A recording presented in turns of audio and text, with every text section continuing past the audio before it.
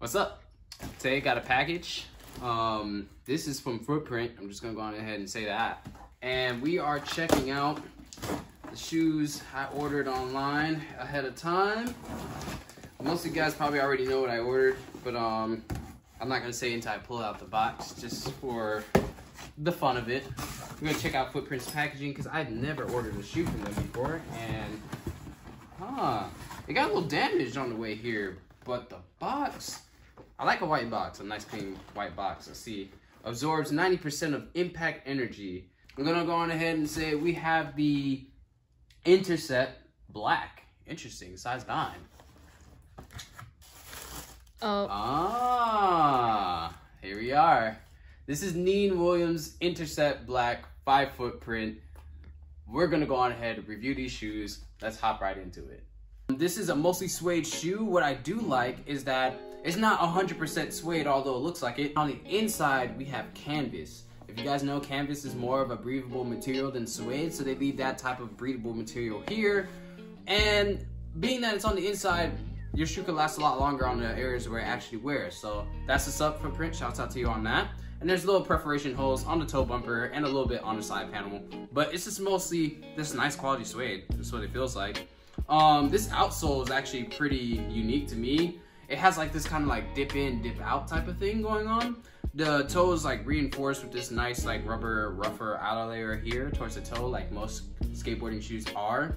And going towards the back, it's a little bit more lifted. This is definitely a cup sole shoe construction. That's what it seems like at least. Definitely a lot thinner than what I thought it would be or, slimmer than I thought it would be in person. So that's pretty dope because I love me a slim looking shoe that also performs like a cup sole. Let's see, the insole is removable. It is a thinner footprint footbed.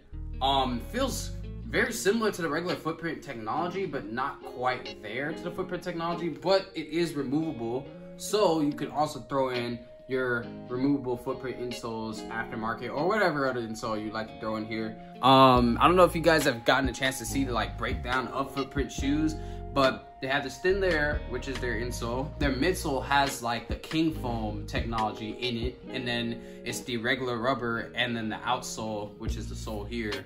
So it's like a nice little breakdown. The outsole is pretty unique for a footprint. They have like a assortment of different things going on here. I know these like inner circles tend to help disperse like impact.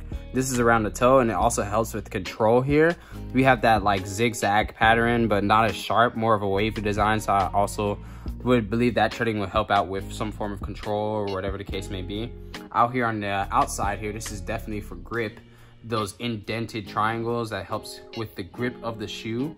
And then we have right around where the arch would be, the arch of your foot would sit. We have, this is like a harder material, so it probably will help keep your arch in place here. And probably help out with Primos because it's a lot harder here than it is in all the other areas. You can push down everywhere else. And then we have a flatter treading for when you like drag your foot towards the back if you want to stop like that so it doesn't wear away as quickly. Like something I did just notice, like for a cupsole shoe, this is something pretty revolutionary because most cupsole shoes don't flex like this. Like that's a lot of flex for a cupsole shoe. That's pretty nice. So I'm curious. And then it's pretty squishy soled, so I'm curious how it's gonna feel. But it also feels like the sole itself is gonna form to your foot too, because as I push down on the insole and stuff like that, and parts of the sole, it like goes in like indents a little bit, and then it forms back up, kind of like memory foam. Thanks again to Footprint. Either way, I still got my knees and I still have this video out for you guys. Hopefully you guys like this shoe. Once again, this is a cup sole construction, so the shoe upper sits inside of the sole and you'll see it on a whole bunch of their diagrams. They've been doing this like cup sole construction for most of their shoes just to keep like the wear and tear down to a minimum. That's the most important thing. Whoa, my toes are in here and it's like dummy. Whoa, it's super soft. This is nice. Ah, uh, yeah, I'm gonna like this shoe. Hold on, let me put on the other side too. no. I didn't get a chance to show you guys the other side. But the other side looks the same, you know? Yeah, shouts out to Neen. This is a nice shoe. Shouts out to Neen and Footprint, actually. If only I had some Footprint socks for my girlfriend and I. You know, Footprint, if you want to send some socks out, you know? All right, shoes on. And this is what all Footprint shoes feel like. This is damn, these go crazy. they look a little long from up top. to me, but like these are insanely comfortable. It's it's insane how comfortable these are. Look at this. These are comfortable as heck. This is what Braille gets to deal with like every day. Like I'm Aaron Kyro and whoever else skates in footprint shoes. Like this is different. Like I feel comfortable and confident. Like minus that little thumb pop. I mean toe pop. you know, I'm a little old out here, guys. This reminds me of Adidas Boost. Like the way this feels. Like if you guys have worn any shoe with Adidas Boost, like Ultra Boost, Rivalries.